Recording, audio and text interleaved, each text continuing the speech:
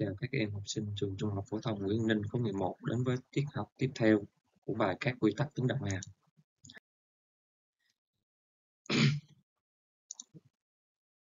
Hôm nay chúng ta sẽ học bài số 3 của các quy tắc tính đầu hàm. Thì ở như hai video trước, thì thầy cũng đã nói là chúng ta sẽ có 7 nội dung và chúng ta đã học được 5 nội dung. Và hôm nay chúng ta sẽ học hai nội dung còn lại, đó là đạo hàm của hàm hợp và đạo hàm cấp 2.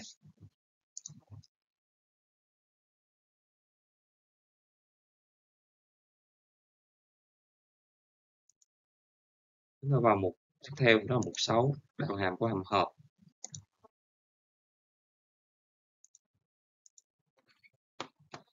Trước khi vào bài chúng ta sẽ có bài thảo luận nhóm, hoạt động khám phá 6. Cho hàm số bằng sin x và hàm số y bằng u bình. Câu A, tính y theo x. Câu B, tính y phẩy x đào hàm của y theo biến x. y phẩy u đào hàm của y theo biến u và u phẩy x đạo hàm của u theo biến x, rồi so sánh y phẩy x với y phẩy u nhân cho u phẩy x. Đó là nội dung của hoạt động khám phá 6 thì chúng ta sẽ có như sau. Thì khi thay thế u bằng sin x vào thì chúng ta sẽ được là y bằng sin bình x, ha. B. Bây giờ chúng ta sẽ có như sau. Đạo hàm của sin bình x thì chúng ta không có công thức, nên ở đây chúng ta sẽ tách ra là sin x nhân sin x thì ở đây mối quan hệ giữa hai cái sin này là dấu nhân, nên tôi sẽ dùng là u phẩy v cộng cho v phẩy u. Thì chúng ta đạo hàm ra được là hai sin x nhân cos x. Tương tự, chúng ta có là đạo hàm của u bình, nó sẽ bằng là hai u. Đúng chưa? Mà u của mình là sin x nên mình sẽ có là hai sin x đạo hàm của u phẩy x là lấy đạo hàm của sin x bằng cos x thì chúng ta sẽ có được y phẩy u nhân cho u phẩy x, nó sẽ bằng là 2 sin x nhân cos x. Vậy thì chúng ta, từ đó chúng ta rút ra được rằng là đạo hàm của y theo biến x, nó sẽ bằng là đạo hàm của y theo biến u nhân cho đạo hàm của u theo biến x.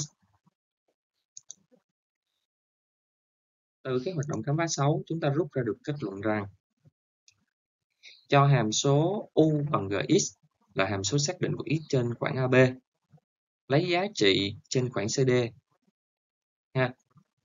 Thì chúng ta lập được hàm số xác định trên khoảng AB và lấy giá trị R theo quy tắc như sau, x f gx đây đây là hàm số hình minh họa. Cái hàm như vậy thì người ta gọi là cái hàm hợp. Thì các bạn. Rồi, chúng ta có ví dụ 8 sách giáo khoa trang 46 và chúng ta giúp chúng ta hiểu rõ hơn như thế nào là hàm hợp. A hàm số y bằng 2x cộng 1 tới cộng mũ 3 là hàm hợp của hàm số nào? Thì chúng ta thấy rằng y bằng 2x cộng 1 tới cộng mũ 3 là hàm hợp của hai cái hàm số y bằng u mũ 3 với u bằng 2x cộng 1. Và dưới hàm số y bằng cos hoặc x bình cộng 1 là hàm hợp của hàm số nào? Thì chúng ta có hàm số y bằng cos mã ngoặc x bình cộng 1 là hàm hợp của hàm số y bằng cos u, với u là bằng x bình cộng 1. Thì từ đây chúng ta có kết luận đạo hàm của hàm hợp. Cho hàm số u bằng gx có đạo hàm tại x là u phẩy x, và hàm số y bằng fu có đạo hàm tại u là y phẩy u, thì hàm hợp y bằng f gx có đầu hàm tại x là y phẩy x, nó sẽ bằng là y phẩy u nhân cho u phẩy x. Thì bạn nhớ, đây là quy tắc đầu hàm của hàm hợp, ha. để hiểu rõ hơn thì chúng ta vào ví dụ chính, sách giáo khoa, trang 46 tính đạo hàm của các hàm số sau. Y bằng 3x bình cộng x tất cả mũ 3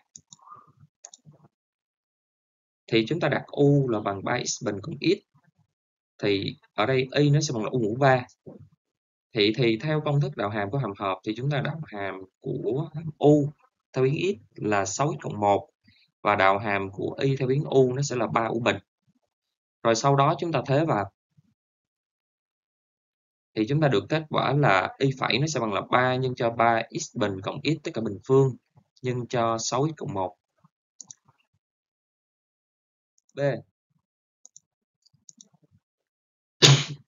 thì chúng ta đặt u bằng 2x thì y bằng sin u thì chúng ta có u phẩy x nó sẽ bằng là 2 và y phẩy theo biến u đạo hàm theo biến u đạo hàm của y theo biến u là bằng, đạo hàm của sin u là bằng cos u vậy thì suy ra được là y phẩy x nó sẽ bằng là y phẩy u nhân cho u phẩy x là bằng cos u nhân 2 và chúng ta thấy u bằng 2x vào thì chúng ta sẽ được là 2 cos 2x vậy chúng ta có y phẩy nó sẽ bằng là 2 lần cos 2x câu C cũng tương tự như vậy. Chúng ta đặt u vào là x bình cộng 1 thì cái hàm y của mình nó là e mũ u. Và chúng ta có u đạo hàm của u theo biến x là bằng 2x và đạo hàm của y theo biến u là bằng e mũ u. Các cái công thức này chúng ta đã biết ở trên rồi ha. Suy ra y phẩy x nó sẽ bằng là y phẩy u nhân u phẩy x. Đây là công thức đạo hàm của hàm hợp. Thì sẽ bằng là 2x nhân cho e mũ x bình cộng 1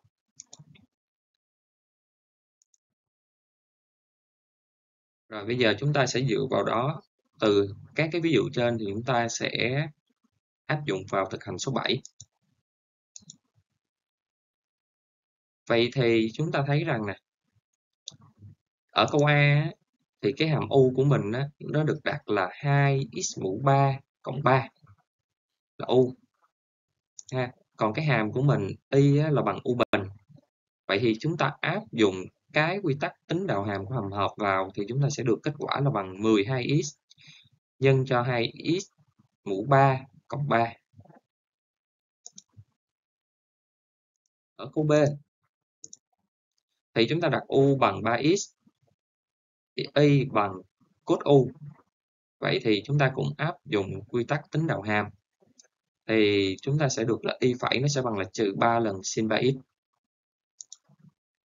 Ở câu C đặt u bằng x bình cộng 2 thì cũng tương tự như vậy. Chúng ta áp dụng các quy tắc tính đạo hàm thì chúng ta được cái kết quả y phẩy nó sẽ bằng là 2x chia cho x bình cộng 2 nhân cho log d của 2.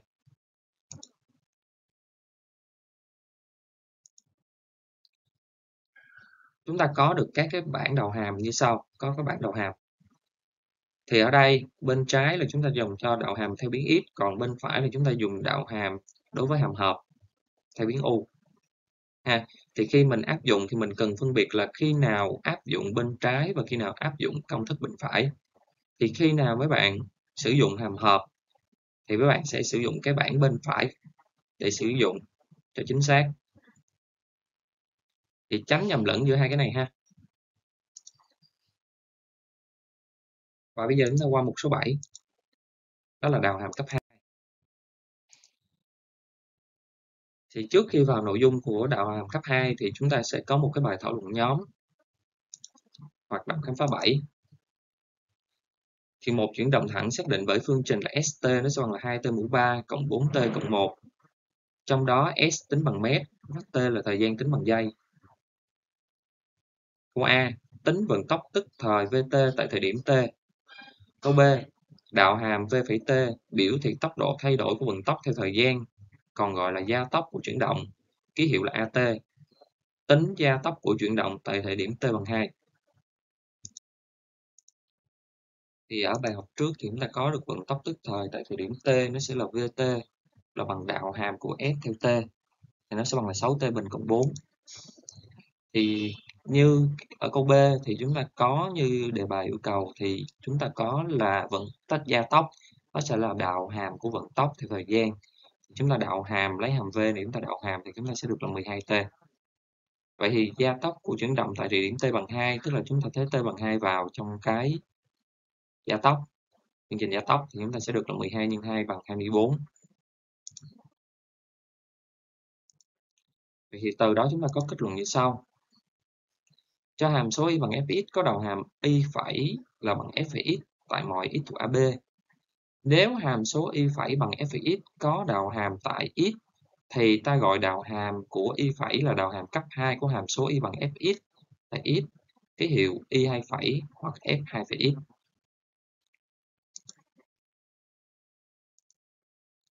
Ví dụ 10 sách giáo khoa trang 48. Tính đạo hàm cấp 2 của các hàm số sau. Thì ở đây muốn tính đạo hàm cấp 2 thì việc đầu tiên của mình là mình phải tính đạo hàm cấp 1 rồi sau đó chúng ta lấy cái hàm số đã được đạo hàm theo đạo hàm cấp 1 chúng ta đạo hàm thêm lần nữa chúng ta sẽ được đạo hàm cấp 2 Thì, thì ở đây cái đạo hàm đầu tiên của câu A đạo hàm lần 1 thì sẽ ra là 6x cộng 5 đạo hàm cấp 2 y 2 phẩy và chúng ta lấy cái y phẩy là 6x cộng 5 chúng ta đạo hàm thì mình sẽ ra được kết quả là 6 được chưa? Rồi, ở câu B. Đạo hàm lần thứ nhất là chúng ta được đạo hàm của sin x là cos x đạo hàm lần thứ hai là chúng ta lấy đạo hàm của cos x sẽ bằng trừ sin x vậy chúng ta được cái kết quả là y 2 phẩy sẽ bằng trừ sin x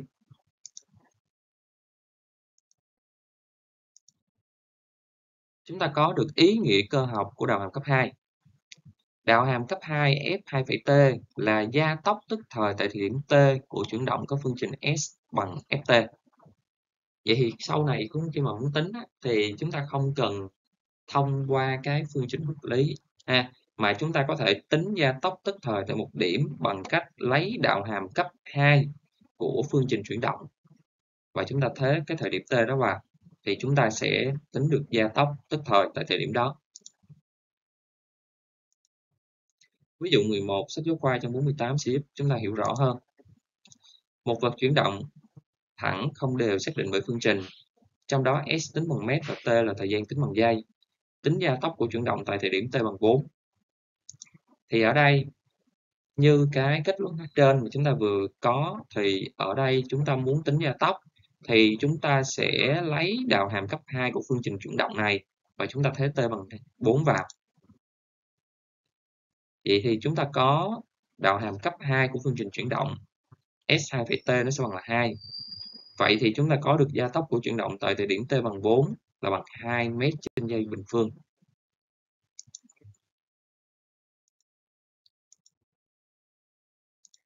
Chúng ta có thực hành 8 để củng cố lại cái bài chúng ta mới học ha. Thì đây tính đạo hàm cấp 2 của các hàm số sau. Thì như mới nãy thầy nói rồi, muốn tính đầu hàm cấp 2 thì việc đầu tiên bạn phải đạo hàm cấp 1 trước. Rồi sau đó chúng ta lấy cái phương trình mà sau khi đạo hàm cấp 1 xong á, chúng ta đạo hàm thêm lần nữa. Thì đạo hàm cấp 1 ở đây nó sẽ ra là 2x trừ 1. Và chúng ta lấy đạo hàm thêm lần nữa thì sẽ ra là, là 2. Bên kia, y bằng cos x thì đạo hàm lần thứ nhất sẽ ra là trừ sin x và chúng ta lấy đạo hàm cấp 2 thì đạo hàm của sin x nó sẽ ra là cos x vậy chúng ta có y 2 phẩy nó sẽ bằng là trừ cos x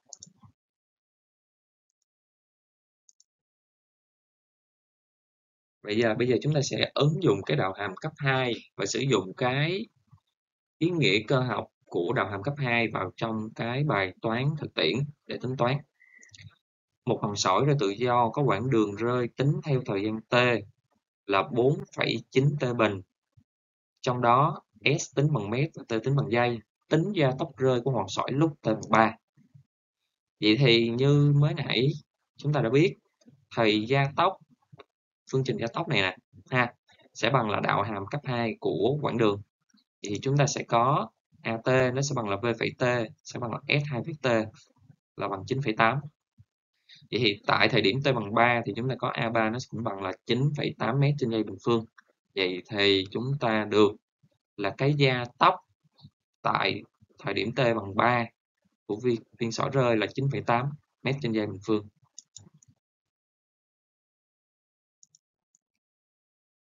Rồi, vậy thì chúng ta đã học hết 7 mục. Thì ở đây chúng ta sẽ có những cái hướng dẫn về nhà. Việc đầu tiên là các bạn phải ghi nhớ kiến thức trong bài.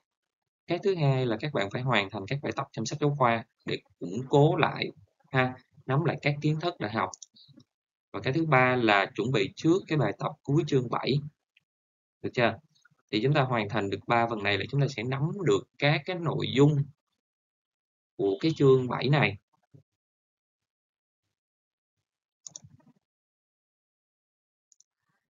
rồi, cảm ơn các em đã lắng nghe.